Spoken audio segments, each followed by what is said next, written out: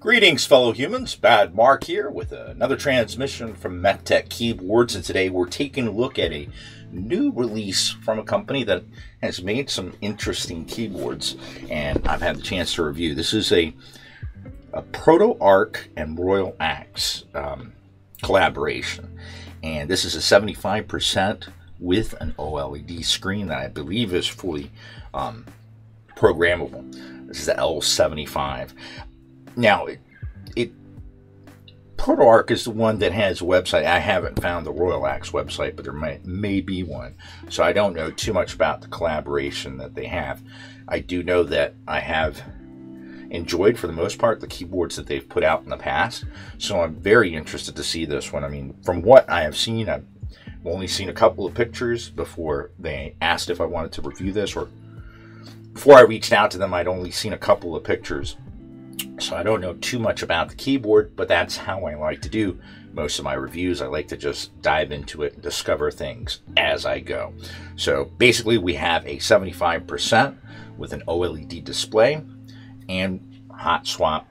I believe this one comes, yes, with yellow switches. So let's go ahead, dive on in and see what we've got. So before we look at the keyboard proper, let's see what we have in the box. We have a user guide on one side shows us the connections for Bluetooth 1, 2, and 3. Um, and it does have a 2.4 and it looks like it has a pocket for a 2.4 in the back. I do, I gotta say, I like their packaging.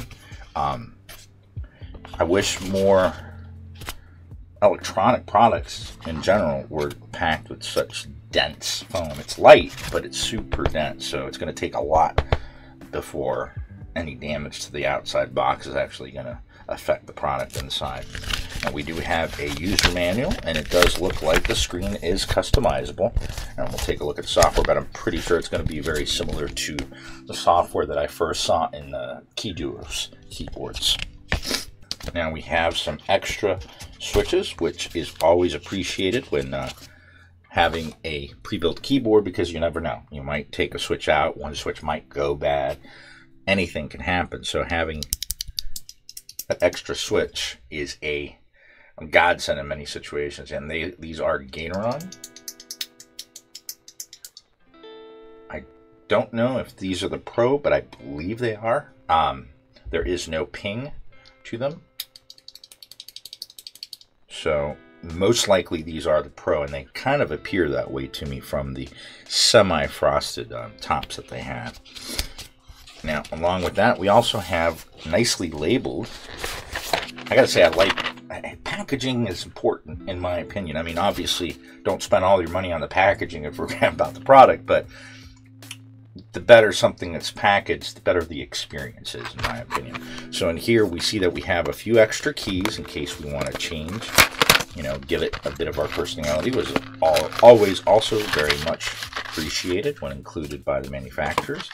So we've got a black or gray, white on gray escape key, and then arrow keys, enter key, and a space bar. And they appear to be almost like an SA profile. One of the SA profiles are pretty tall, like a sculpted OEM. Then we have a separate key switch puller and a key cap puller. On the other side of the box, we have what looks to be a USB cable, and it looks to be an aviator cable if I'm not mistaken. Wow. So, it, not many keyboards come with cables, or aviator cables, I should say. I mean, they practically all come with just your standard USB cables, but I like coil cables. I'm not necessarily big on the aviator connectors. Um, if it's going to have a connector, I'd rather the Lemo, but I'd just rather no connector. I don't think there's there's a need.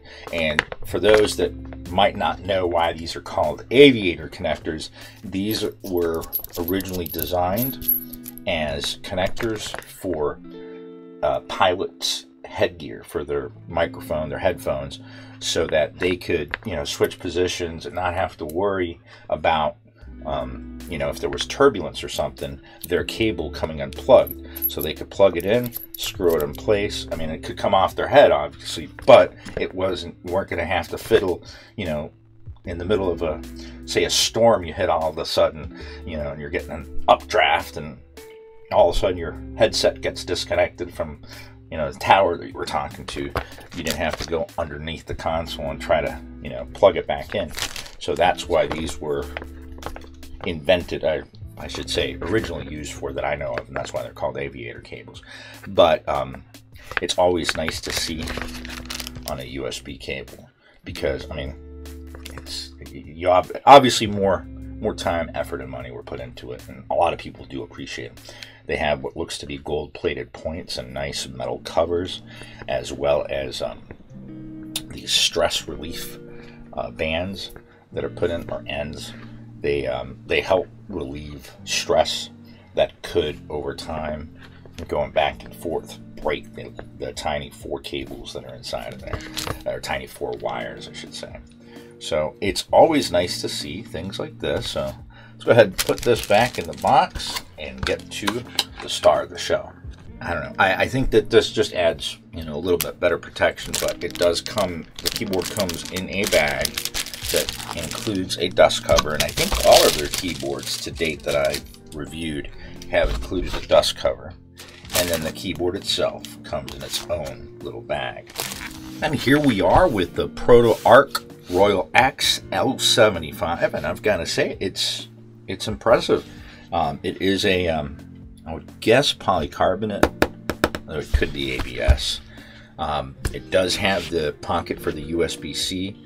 All of the uh, this is a metal badge. It feels like it might be metal. It could be electroplated plastic, but it looks like metal. All of the, the uh, pieces like this come protected. The screen comes protected.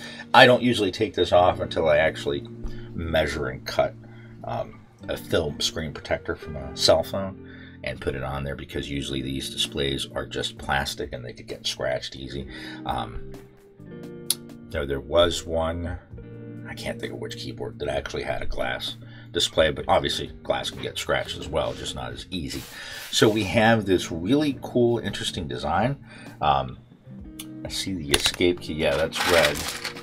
The extra key. So we got we could add a little bit more color, match it up with the escape, or just blend it in to the keycap color. This is a um, uh, 3277, I believe, colorway uh, to match up with the IBM 3277 terminal, I believe, if I'm not mistaken.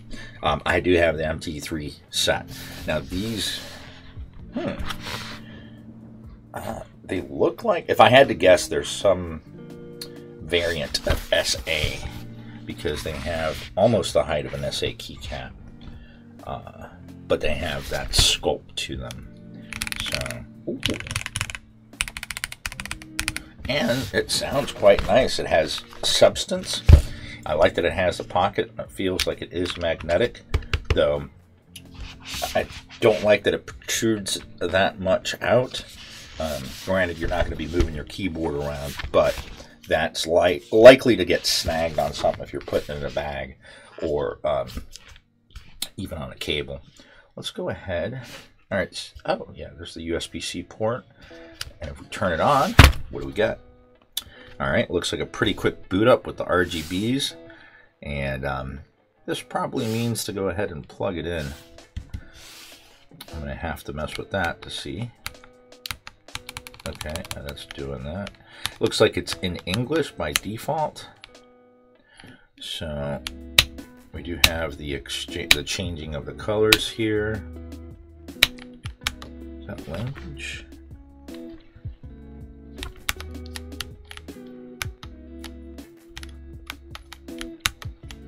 I guess we're gonna have to go. Oh. All right being that it's uh, just on battery, it's probably just being a bit of a, um, because it's not connected, so it's trying to save battery power. On the side here, we have Bluetooth, USB, and 2.4 gigahertz connection switch. So,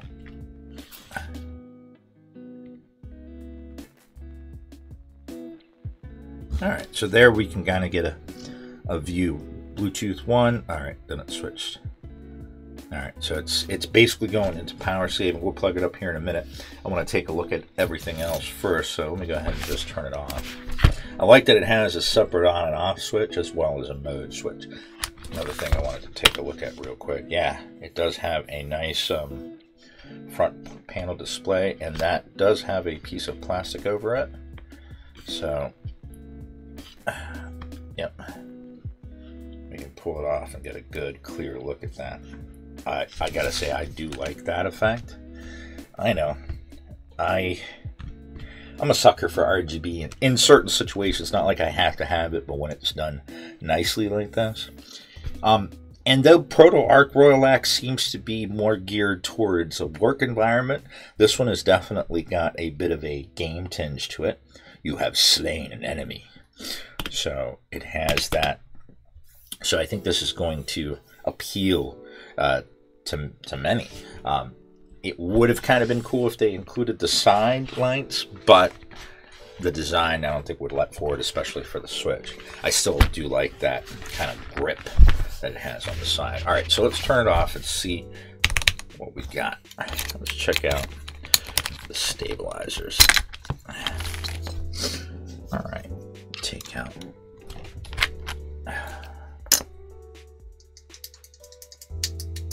Yeah, I'm pretty sure this is a Gateron Pro. And I think those are the switches you get options for. Now, oh, I am surprised. This is a does not have an IXPE foam sheet above the PCB. Hmm, that's almost an expected uh, piece nowadays. I'm as good as it sounded. I kind of expected it to have it. As far as stabilizers go, we've got some that are they are lubricated. Uh, we cannot fault them for lubricating, but they did not feel mushy to me. We seem to have a little bit of extra that got onto the plate.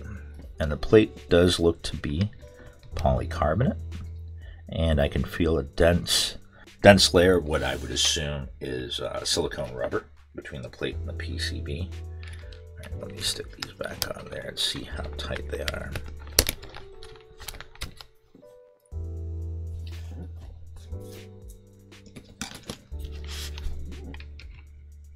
Oh, they're quite well attached.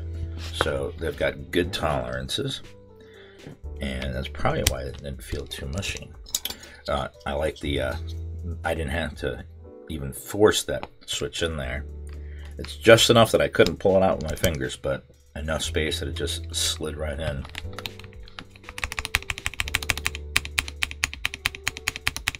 And I could use a bit of tuning, but it's really not bad for stock stabs on a PC plate. So with these um, Gateron Yellows, uh, we do have a bit of a more muted sound profile, but it is on the deeper end. I would even say that its sound signature could be considered Thocky. So a stock Thocky keyboard, not bad. And then with a keycap set that I don't want to get rid of. I like it. Now, granted, I am a fan of taller keycap sets, SA, MT3, even so, some OEM sets. I'm just, I'm a kid of the 80s, and I mean, my first computer at home was a uh, VIC 20 and a Commodore 64, and they had nice, I mean, very similar to SA keycaps. So I'm very accustomed to them. I can use Cherry, I can use XDA, but if I have my choice, I prefer SA or those similar, the KSA, the MSA, the CSA, anything that has SA in the profile name usually comes close to that. They they usually just have slightly different heights or different sculpts, but I'll have to take a look for this one to see exactly what they call this one. So we do have the programmable screen. I'll have to plug this in and take a look at the software. But other than that, we have a very interesting, nicely designed keyboard. Like I said, this would be my only gripe, but it, I do know from the other Royal Axe keyboards I have, it hangs on to it quite well. And it's deep in there, so it would take some force to actually pull it out of there or damage it. I just wish that it was a little bit more flush with the case, that's all. So flipping it over, we see that we have the badge, and actually those are the G Pro yellows. And it's kind of interesting that they actually put it on the, on the bottom badge. We do have two pairs of flip-up feet for three different type angles. And they all do have the rubber feet on them, so we don't have to worry about it sliding around. And the keycaps also have their um, the sub legends on the uh, side, side printed front legends that you can see the uh, different effects. A lot of times, especially when they're shining through keycaps, I'm one of the first things I'm thinking is what keycap set am I going to replace them with?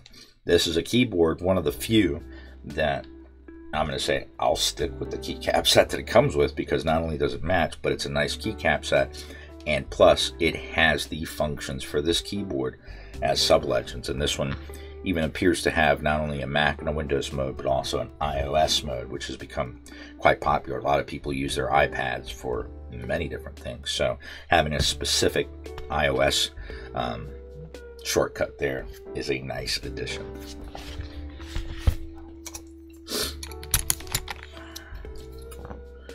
So as we can see with the keycaps, they are a nicely double shot keycap. It feels quite nice. I would guess it's PBT, but I'm not quite sure. I will have to look it up and put it in the technical section. Now let's see what kind of uh, width we have here. Oh, this is a 1.5, it looks like. Yep. 1.5 millimeter thickness body. For an OEM keycap set, that is a very, very nice width. So I've got to say, I, as far as I know, uh, Royal Axe and ProtoArc are fairly new to the game. I mean, I think they had some membrane keyboards before, but as far as mechanical keyboards, but I must say that every keyboard I've taken a look at from them has significantly increased in um, quality, uh, as well as craftsmanship and attention to details that I think would be important to a keyboard enthusiast as well as someone that's a gamer looking for a mechanical keyboard. So I like this. They're doing, hey, you can game or you can work, whatever you choose to do. It's going to be there for you. You've got, you know, your personalization with the OLED OLED screen. Um, you've got wireless. You've got different operating systems in case you know you play on your Windows machine, but you work on your Mac machine. Uh, it's got it is a keyboard meant to satiate the needs of those that you know want a good sounding keyboard. And I mean, for a lot of people, this is going to be it out of the gate. They're going to be fine pulling out this keyboard and getting to work with it. They're not. They're not going to. A lot of people won't even think about what mod my keyboard. It sounds great because this is it's not going to interrupt an office environment. It's not loud. And it's the sound consistency is good. So, I mean, I mean, yeah, it's got a gasket mount on it, and you can, it's got flex, but it's not the craziest amount of flex, but just enough to where you're going to have a softer typing experience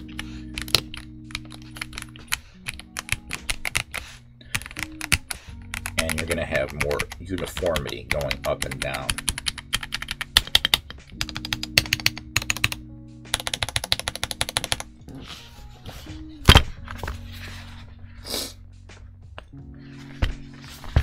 Yeah, I gotta say, I mean, this keyboard, I, I'm I am going to go ahead and add it to my daily driver list because I like it. The only thing I don't like is this, but I'm gonna assume that I'm gonna be able to change that when it comes to uh, pulling up the software.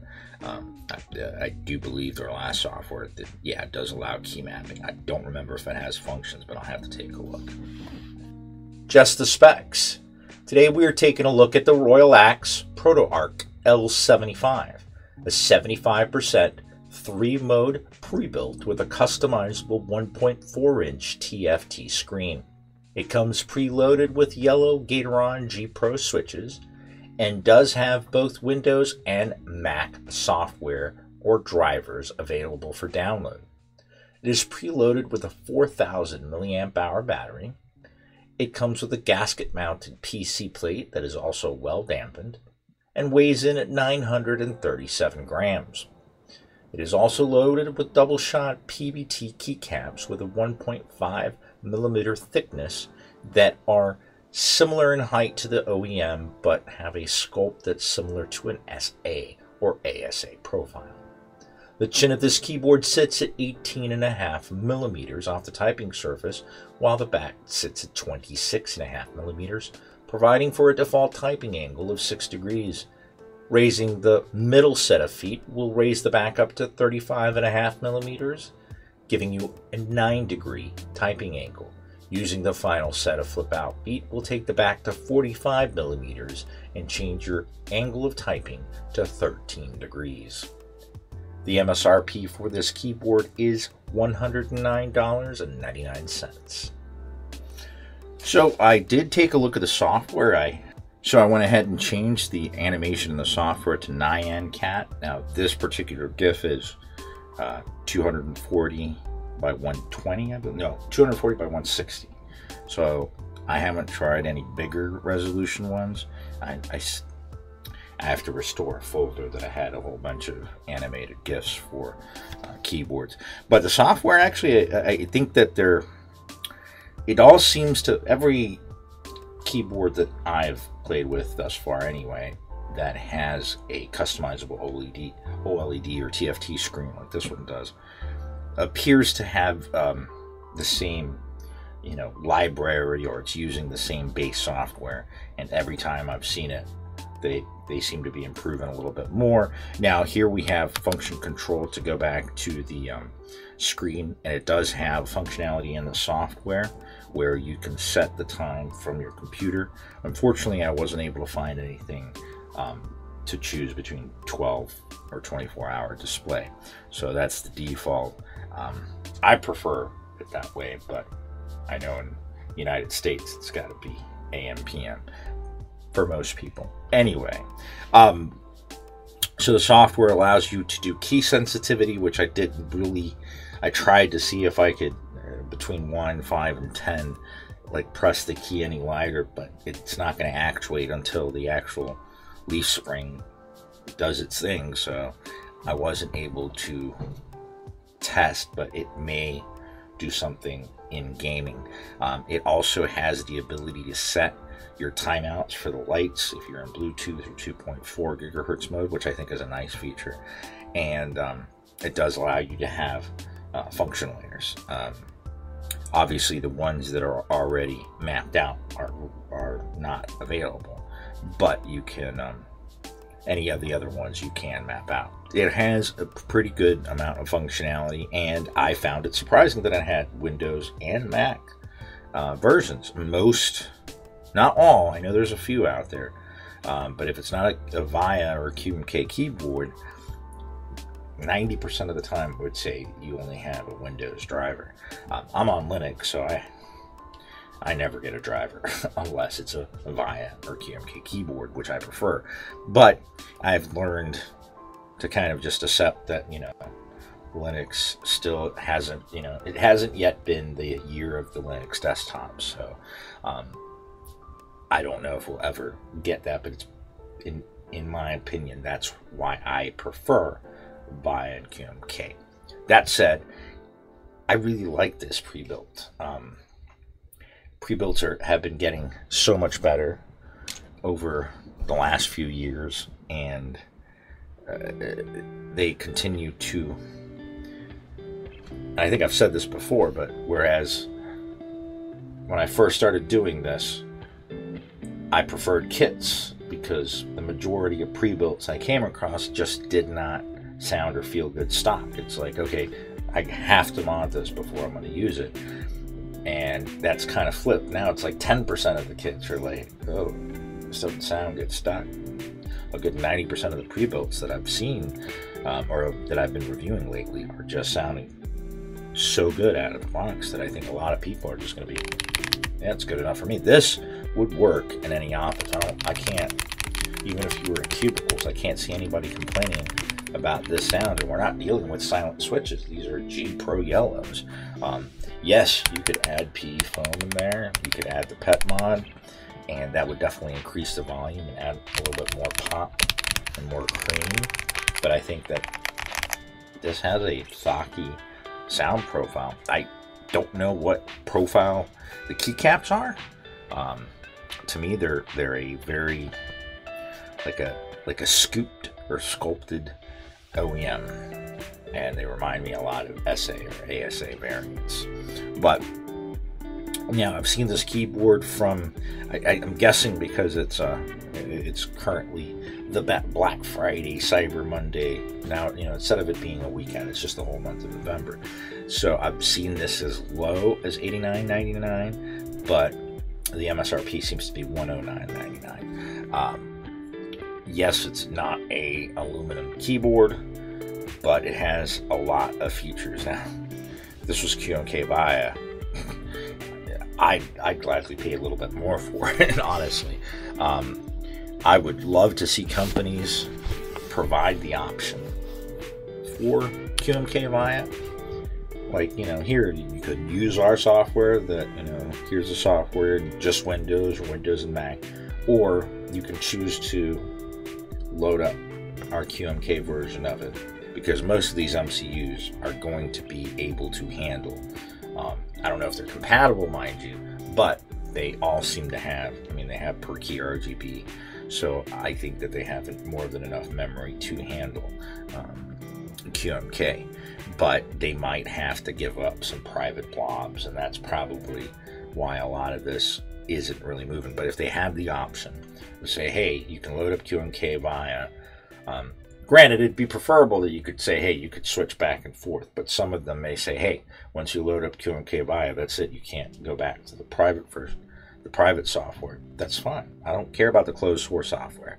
If I can choose to go ahead and just use Via or Vial or you know heck, just QMK. I mean, if it's QMK, it's easy to come up with it via key map file so that you can you know configure the most basic of options in VIA too. So they're coming out of the gate ready to go. No, one doesn't have to be like, all right, this is a nice looking keyboard, but I'm going to have to do A, B, C before it's going to sound and feel to where I like it. No, this is especially if you're in an office. this is going to be it. And then, I mean, you got your personalization, but hey, I want to see where my battery's at. I just want to see what mode I'm in. So, you know, we can go iOS mode, Windows mode, Mac mode. Let's trying to link. But we can see we have 88% battery. We have the date, we have the time, we have the mode. So, probably wants me to connect before it switches over to the um, the animation. But I've got to say, they just uh, they. This is a nice keyboard. Another thing that I found um, quite interesting: the uh, chin of this keyboard sits quite low. Um, every once in a while, people ask for you know the chin to be low, and this is 18.5 for not for being a non-low profile um, keyboard it has quite a low chin. So I'm uh, I'm impressed, but I I am going to come back to this keyboard because I do want to make it louder and poppier and see what a pet mod and a PE foam mod does to this. Uh, maybe even a Tempest tape mod. And we'll take a look at how it's built on the inside. Um, but, but like I said, I think this keyboard is great stock. So um, I hope that you guys enjoyed the review. If you have any questions for them, make sure to leave them down in the comments below. Um, I'm going to go ahead and leave you guys with the stock sound test of the Royal Axe Proto Arc L75, 75% 3 mode with a customizable 1.4 TFT screen. TFT screen. Until the next transmission, keep calm and keyboard on.